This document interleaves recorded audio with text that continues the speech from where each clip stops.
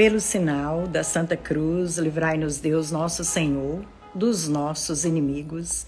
Em nome do Pai, do Filho e do Espírito Santo. Amém. Hoje faremos o Salmo 126. Estou fazendo os 150 salmos e louvado seja Deus, já estou aqui no 126. E aí resolvi eh, compartilhar com vocês esse salmo que é tão lindo.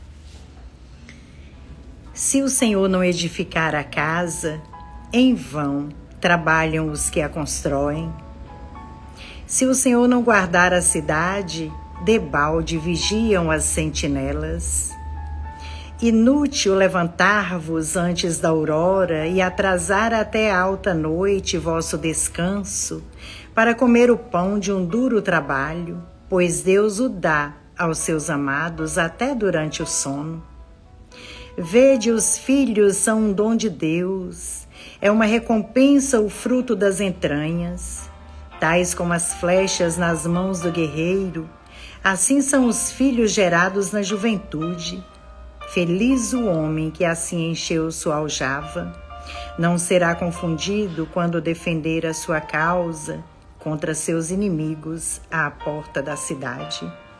Glória ao Pai, ao Filho e ao Espírito Santo como era no princípio, agora e sempre. Amém.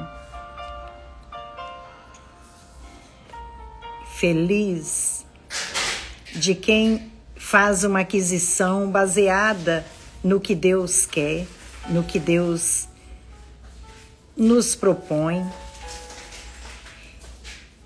Feliz daquele que busca o Senhor antes de concretizar algum sonho Feliz daquele que busca falar com Deus, busca uma intimidade maior com Ele através da oração. O fruto do nosso trabalho tem que vir dos planos de Deus antes do nosso. Às vezes, a gente acha que não precisa se esforçar, tomar um tempinho para oração Perder sono, nem pensar. Será que não?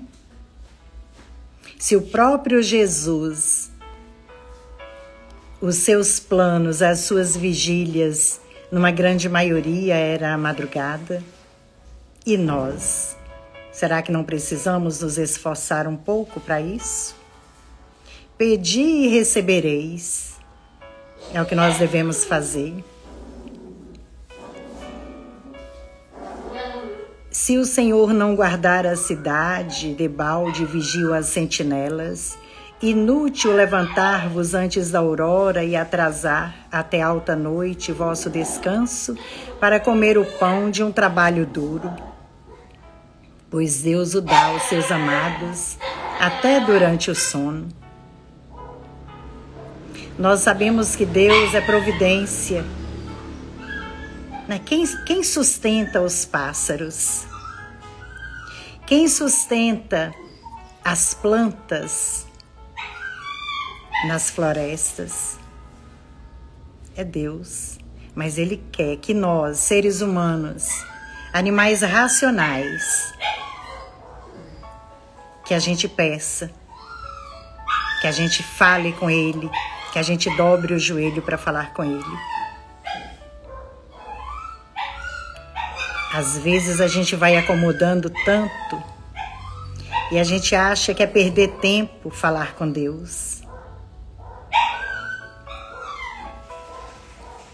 Quantas vezes nós temos graças para serem alcançadas, de repente através de uma palavra, que a palavra dele é viva, através da palavra ali na igreja, mas a gente não vai por preguiça, por comodismo, por achar que tudo a gente consegue vou conseguir tudo.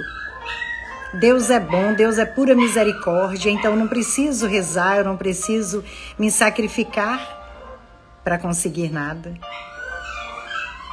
Por que não? Se até Jesus se sacrificou, Jesus sofreu tanto numa cruz pela nossa salvação, devemos sim ir à igreja, Rezar em casa é muito bom. Rezar na rua, a gente vai caminhando e vai rezando, vai falando com Deus. Mas a gente tem que ir até a igreja, falar com o Senhor, estar ali próximo dele, presente em, em corpo, sangue, alma e divindade na hóstia santa. Feliz o homem que assim encheu sua aljava. Não será confundido quando defender a sua causa contra seus inimigos à porta da cidade. Eu vou encerrar. Eu acho que o meu cachorrinho está precisando de mim ali. Que Deus abençoe você, Deus abençoe a sua família. Que o Espírito Santo venha nos iluminar a cada dia, para que nós possamos aumentar a nossa fé, para que nós possamos dar um passo a mais em busca do Senhor. Ele está sempre de mãos estendidas para nós, mas nós vamos escorregando as mãos, vamos buscando o que é do mundo, até que a gente se afasta dele. Nós temos que ter a coragem, o ânimo de voltar a tocar na mão dele, porque assim estamos seguros. A paz de Jesus e o amor de Maria a todos nós. Abençoado dia.